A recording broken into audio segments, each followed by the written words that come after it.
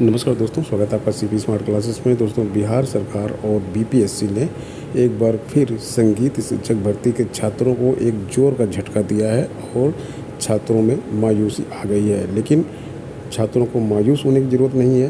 पूरी अपडेट आपको इस वीडियो में दे रहे हैं।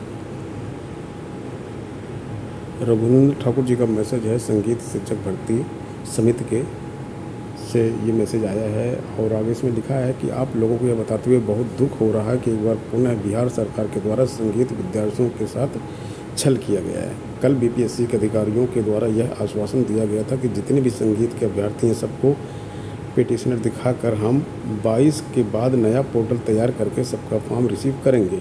लेकिन आज सुबह 10 बजे अचानक फ़ोन आता है कि ऊपर से प्रेशर है कि जितने लोग पिटिशनर हैं उन्हीं से फॉर्म भरना है और आज ही भरना है। हैरान कर देने वाली बात यही है कि जब उन्हें सिर्फ़ पिटिशनर को ही अप्रूव करना था तो कल ही उन्हें क्लियर बताना चाहिए था, ताकि हम लोग आगे की लड़ाई के लिए पुनः योजना बनाते हैं। लेकिन एक दिन बर्बाद करने के बाद हमें सूचना दी गई। यह बात संगीत अभ्यर्थियों के प्रति सरकार की आक्रमणता को दर्शाता है। आप लोग एकदम निश्चिंत रहें और ग्रुप में सक्रिय रहें। किसी की बातों में ना आए। बहुत सारे लोग आपको भड़काने का प्रयास भी करेंगे, लेकिन आप लोगों को इस बात का ख्याल रखना है कि इसी अभियान की वजह से संगीत अभ्यर्थियों के हृदय में उम्मीद की एक किरण जागी है और हमारी पहली विजय हो चुकी है। पूरे संगीत अभ्यर्थियों को अवसर दिलाने के लिए हम लोग आगे की लड़ाई भी साथ मिलकर लड़ेंगे।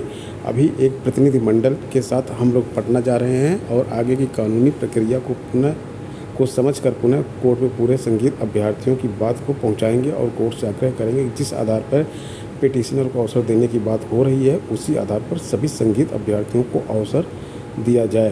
पूरी उम्मीद है कि जिस प्रकार अल्पकाल में ही हमारी बातों को सुनकर माननीय उच्च न्यायालय ने हमारे पक्ष में निर्णय दिया, उसी प्रकार एक बार पुनः हम सभी संगीत अभ्यर्थियों की प्रार्थना को अवश्य स्वीकार करेंगे।